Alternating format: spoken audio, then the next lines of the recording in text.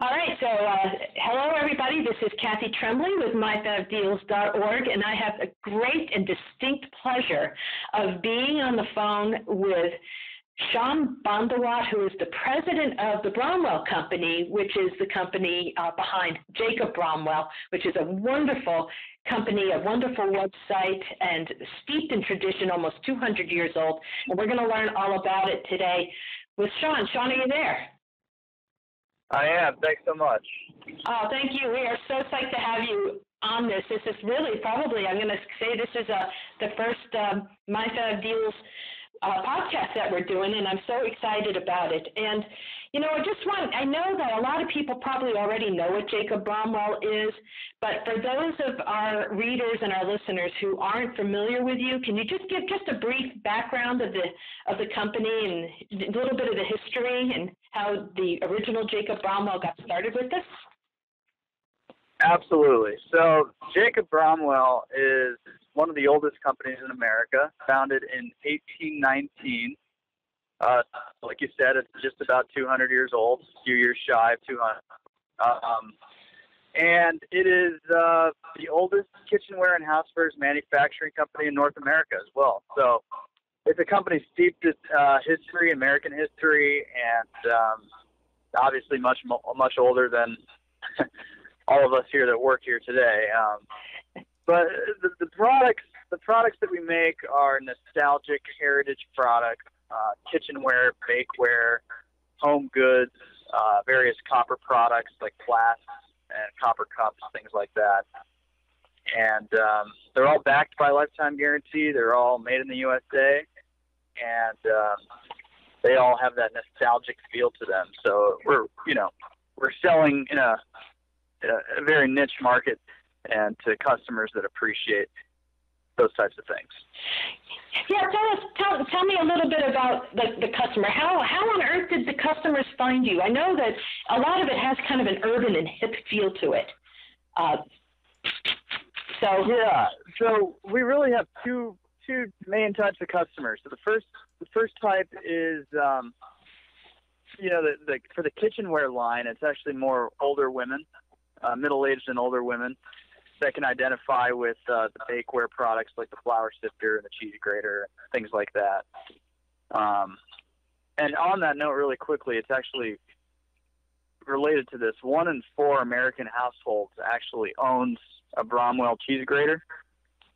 Uh, they may not know it, but um, it's a pretty popular item. We've sold, you know, more than 100 million of those since um, the company was founded, and so a lot of households still have them, and so a lot of people still still purchase those, especially women, because they're they're used to that product and they've they've used it for so many years.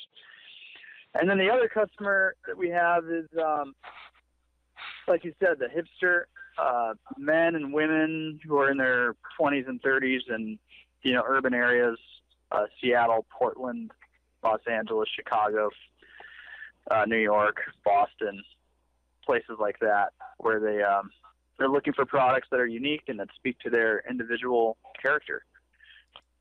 So. I, that is fabulous. You know, I, I can speak to that one in four households, by the way. I don't know if it's a Jacob Bromwell, but I have one of those graters at my house that I got. Oh my gosh, I can't tell you how long we've had it. Uh, and I don't know if I got that or if John got it from his family, but it is old and it is the only grater we use at home. I mean, we're, we're away wow. from I'm not sure it's a Jacob Bromwell, but if it isn't, it is a close imitator. I am telling you.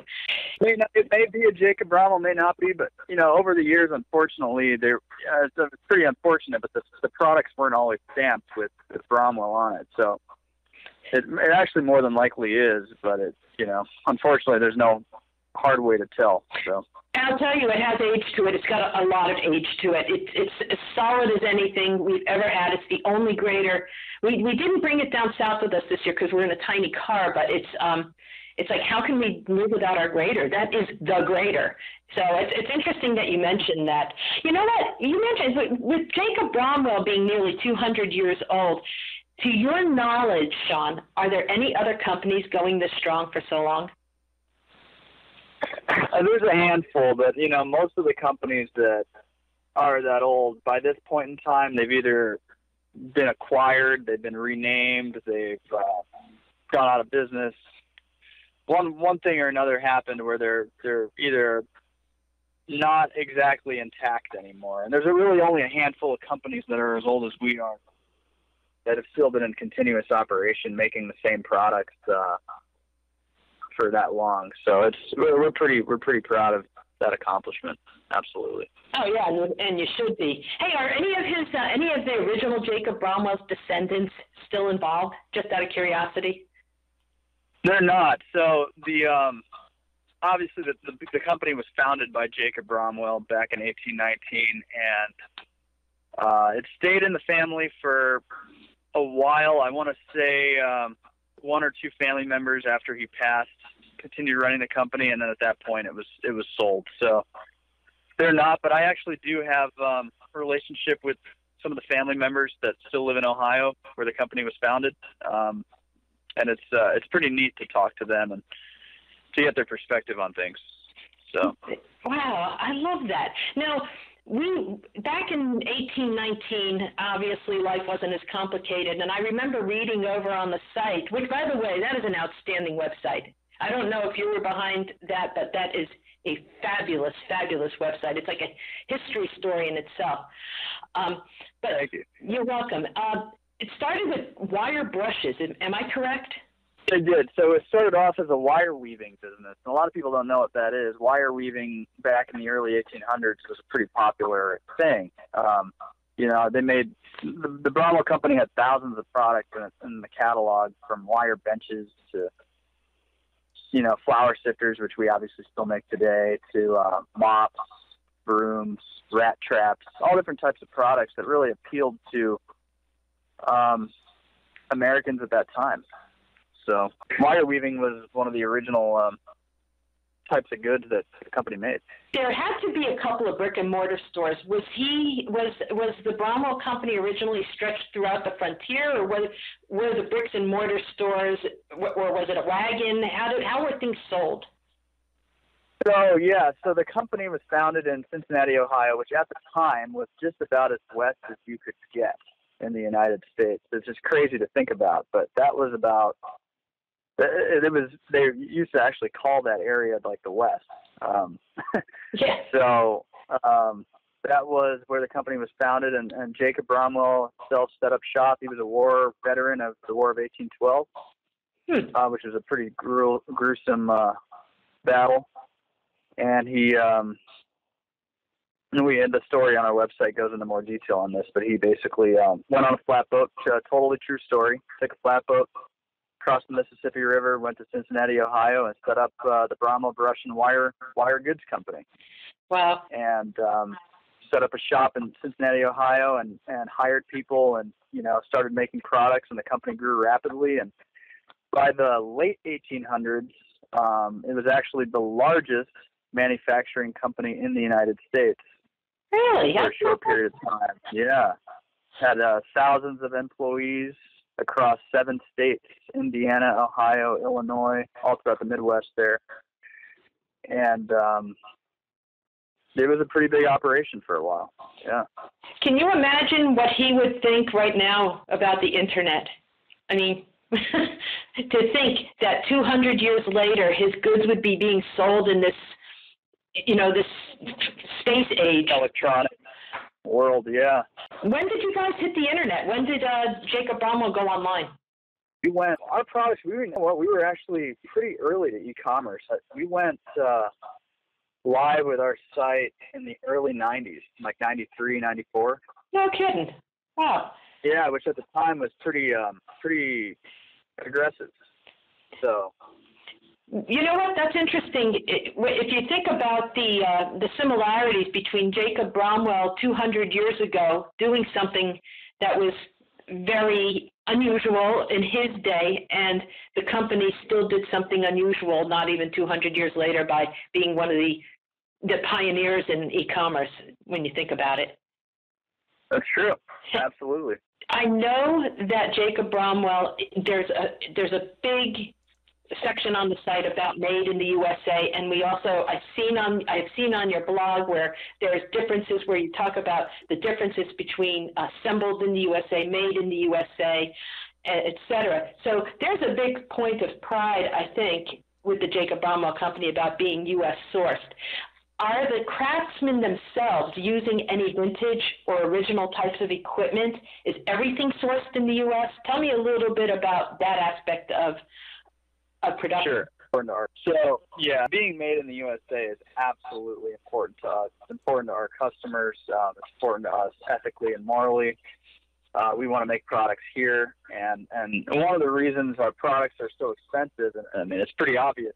Uh, anyone looking at a product, the, the first thing they almost always notice is the price.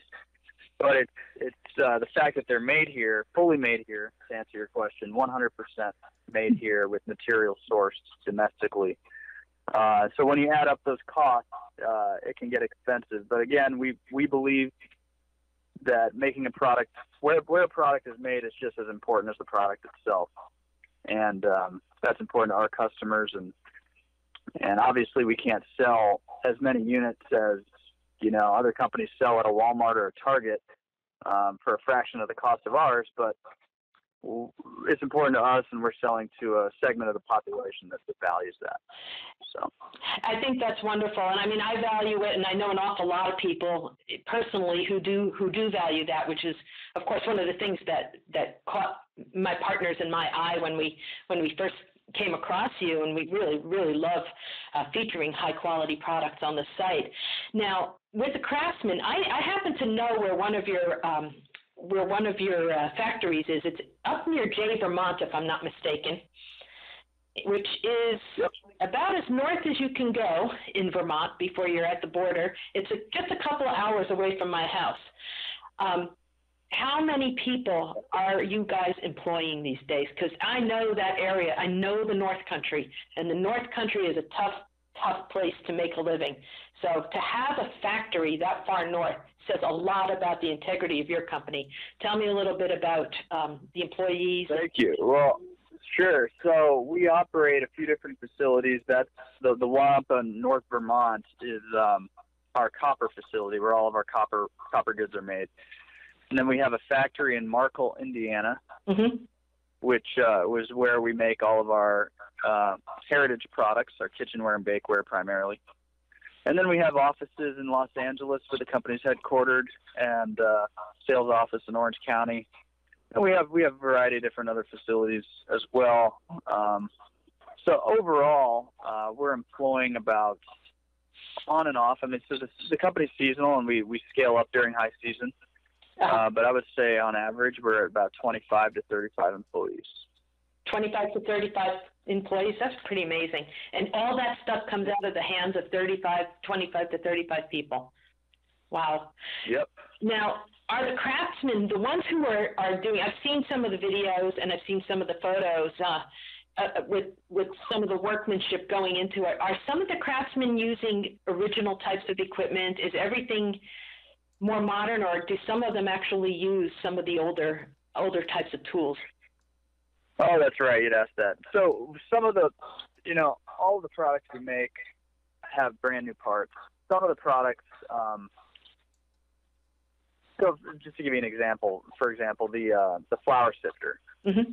is authentic to the original design that was used 200 years ago. So everything is brand new, but we essentially recreated the tools and uh, the parts to be exact duplicates.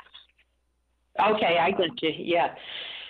Yeah. I, I see exactly what you're saying. Either exact or, or, or, or near exact. Um, it's been a balance that we've had to strike because we've obviously wanted to maintain the original look and feel of the product, but also increase the quality wherever, where, wherever and whenever that was needed. So, um, it's been a it's been a fine line that we've had to walk on some of the items, but whenever possible, we try to try to maintain that authenticity.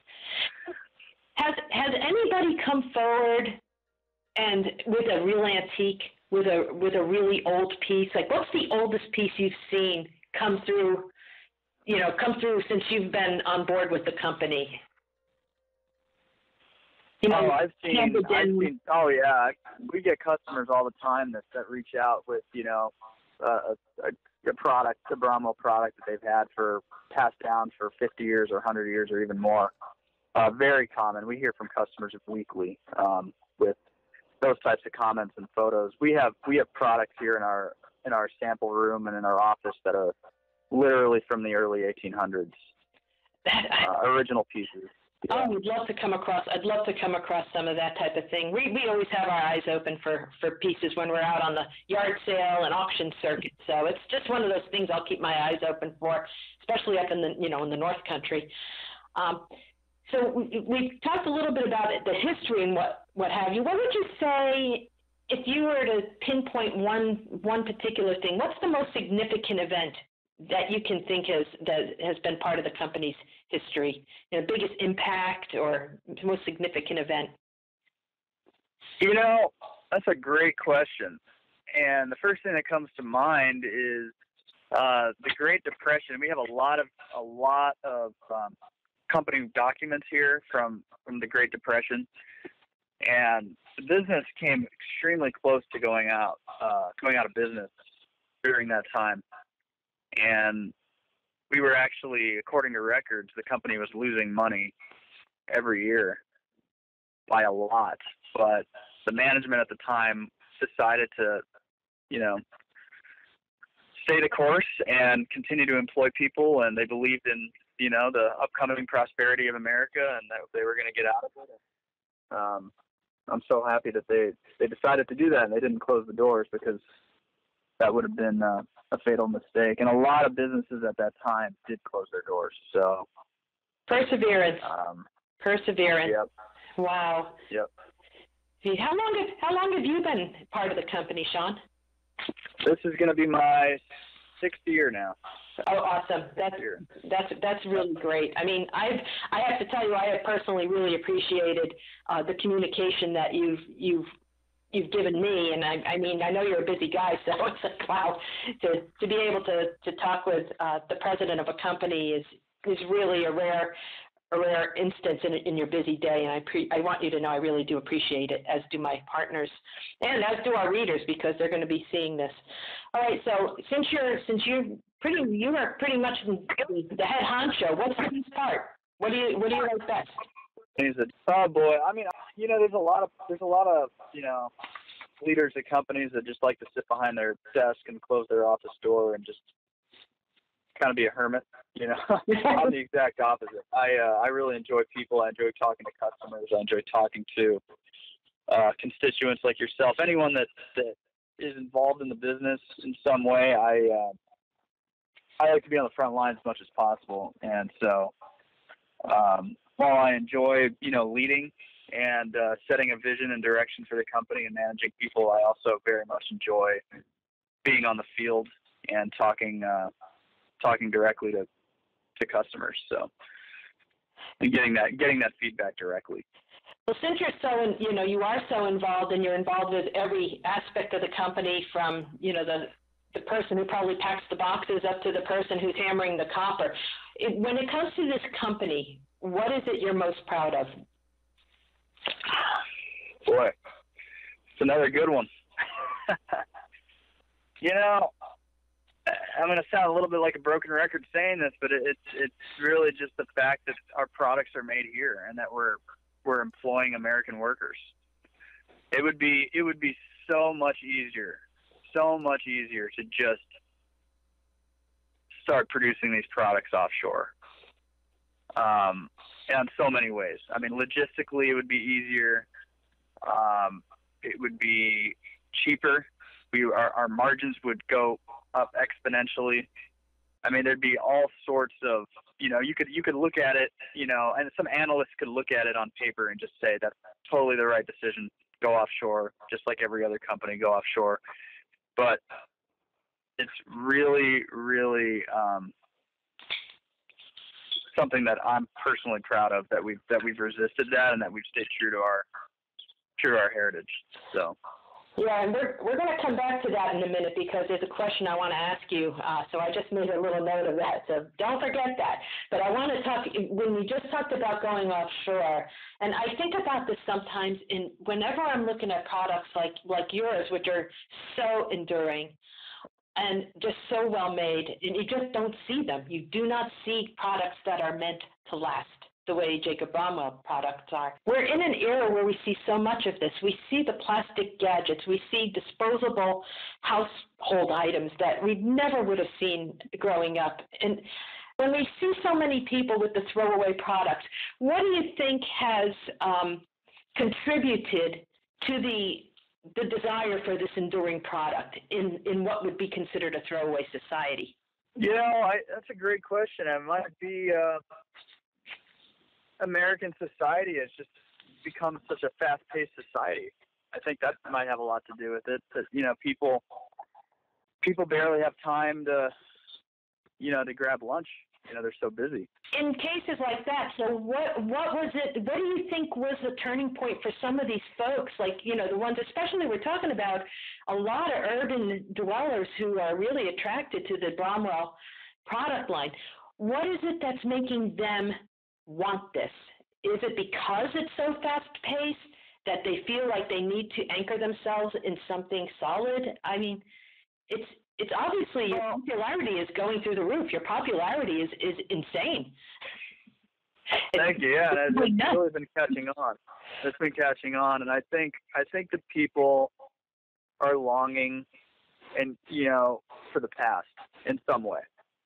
And um, we our our brand, the Jacob Bromwell brand, is you know the products that we sell. There's so much more than just it's just a flour sifter, just a flask, or you know, it's so much more than that. It's our brand speaks to a time um, when life was simpler and when things were made with care, and that when people had to, you know, spend with family and friends around an open campfire and share stories and and cook popcorn and do those types of things. And you know our, that that's really what the Jacob Bromwell brand stands for. And um, all of our products are really secondary to that. And I think that once once you understand our brand and our message it becomes really clear that you know that any of the products that we sell can help you kind of achieve that. So it kind of got me thinking about something. I was thinking about how many of those products I would love in my own home up north. We, John and I, my husband and I, have a, a mountain cottage, and it, it's it's it's a vintage cottage. You know, it's been modernized, of course, but these are the types of products that would you know, fit in perfectly with our house. And I was a little surprised at a feeling that I noticed coming upon me, almost like when I'm looking at your products. It's like a rush of wistfulness. It's like I, again wanting that simplicity and that peacefulness that seems to saturate your product line. And I was thinking, am I out of my mind? yeah. Well, and yeah, you're absolutely right. And there's also another another part of our our product line that's extremely important to us is the is kind of embracing the imperfection of our of our products. So, you know, you look at you go to Walmart, for example, and you you, you go to the camping section and you, you go to a you know try to find a stainless steel mug. It's perfect, perfectly machined. Came out of a machine in China. They probably made ten thousand that day. So, You know, the same one that you're you're looking at. Right. And there's just nothing there. It's probably a three or four dollar cup, and it's perfect. And you use it, and you throw it away, and that's it. It's kind of the end of it. Yeah. Yeah. But you know, our products are 100% authentic from the day they were created, and and part of that means that they're that they're not perfect and they may not have the most efficient design or the most efficient you know um, handle or whatever it is but it's it's kind of embracing that that authenticity and and finding the beauty in it. So.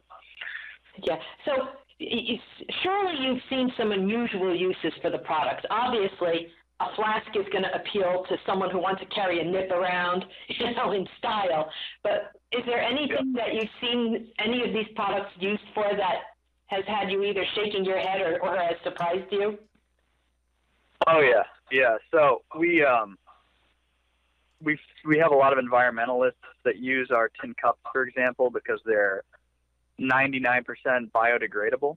Meaning, um, you know, a lot of people they they'll go out camping with their cups, so they'll they'll use their cups for painting or whatever it is. They'll they'll use the cup for whatever they want to use it for, and then instead of throwing it away, they just throw it out in the soil or out in the out in the field. and uh, it, it is biodegradable, and over over a period of time, it actually becomes one with the earth again. So um, that's pretty interesting. certainly not something that we we we market or advertise for people to do, but um, we've had a lot of stories of people doing that. Fascinating. I can't believe that people would actually toss a mug. well, anyway. Yeah. hey, you get all kinds, right? But oh. Yeah, yeah. Another another interesting thing is uh, as Hollywood set designers often frequently use the product. Uh, products have been filmed in a variety of different using a variety of different films, and none of which are any of that we've paid for product placement or anything like that. It's just been all to our surprise. So that's been that's been neat. Yeah, like I saw that. Like you were actually pretty sure you saw some in The Revenant, that um, the Leonardo DiCaprio film that recently won some awards. Uh, yeah, so I don't know if you saw. Did you see that movie? Not yet. We we I, I'm thinking we're going to though, because I'm I'm sure that that's one that we would both really enjoy. It's a great film. It's long, but it's really good. And one, you know, he carries around this canteen with him, this water canteen. Um, uh, for a majority of the movie, he's carrying this canteen around. That's a Jacob Bromwell um, nice. canteen. It's a so. And so you know it's interesting. So how how do you guys find out that they're using them unless they you know unless they just buy them and you never know. So did you know? Do you know when they're going to do this, or are you just surprised?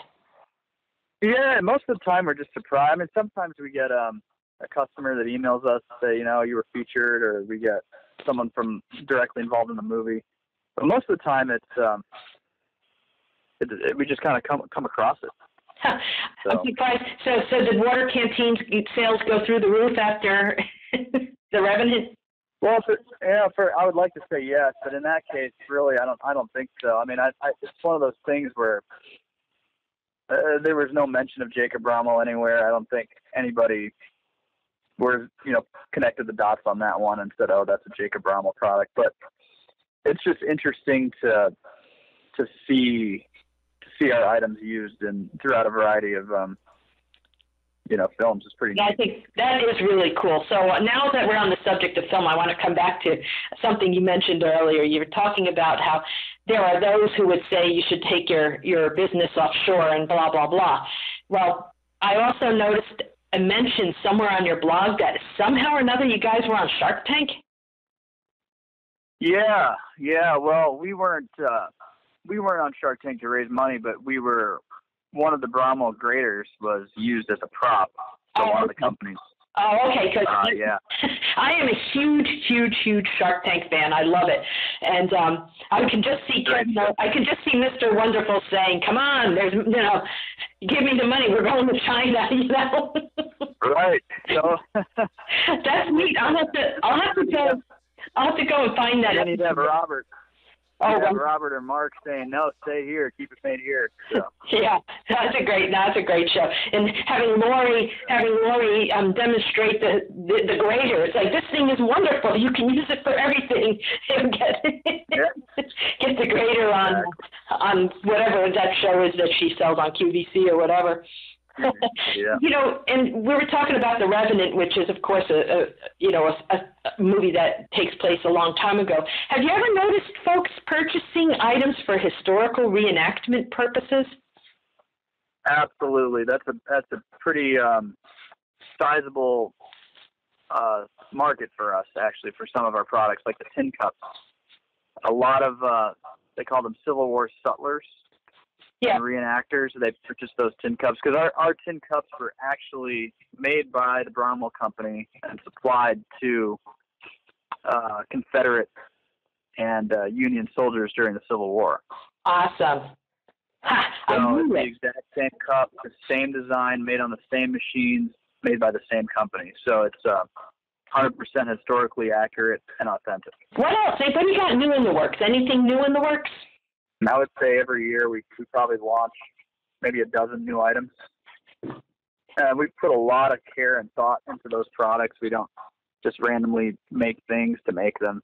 Uh, they have to have have meaning and purpose and have to tie in nicely to our current assortment. So yeah, I've seen a uh, couple. of, be yeah, I'm sorry. I, I, I was going to say I've seen a couple of uh, limited editions that you've had in the past, and I wonder about that a little. exactly exactly yeah yeah. So that being said, I mean I was just going to say the limited edition flasks uh, are something we we had some success with, and we're going to be rolling out some new designs this year. Pretty exciting.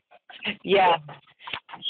So I know I, I know we've probably been taking a lot of your time, but before we close, anything, any meaningful, fun anecdotes, any like best thing a customer's ever shared, or one of the more unusual things you've seen that you've seen in your your time there? Uh, I want to say this was back in 2013, a few years ago. We had a customer call in and say that he he was out stranded in the middle of the desert in the summer. I think he was out in Arizona, and he had no food with him. He was lost. He had no compass. He had nothing with him. He was alone. The only thing he had with him was his flask, and it was filled with water. And he said that that flask saved his life. that was pretty neat. that is so cool. I thought I thought you were going to say that he found the you know the 800 number carved in the flask and he called her out. so, anything else you want to share? Uh, anything you're looking forward to, especially with regards to what's what's upcoming for the future of the company? Uh, you know, we're just we're we're excited every year to see our mission kind of catching on and more people joining our movement, more more customers, you know, purchasing American made and and you know, coming around to that idea of spending a little bit more money but getting a better quality product that's going to last a lifetime. And our our sales are reflecting that and our growth is there. And so we're just we're just excited to keep on going. Uh, I, I'm excited too, you know, and I want to just remind uh, my my readers and my listeners who might be listening in on this after after we're done, and I get this up on um, YouTube or whatnot, that uh, here at, at, at our website at myfavdeals.org, we we are putting up as, much as our time can get us putting every every one of these items up there for you to see. If you happen to be on our site, uh, make sure you you visit the Jacob Bromwell site. It's it's a wonderful site.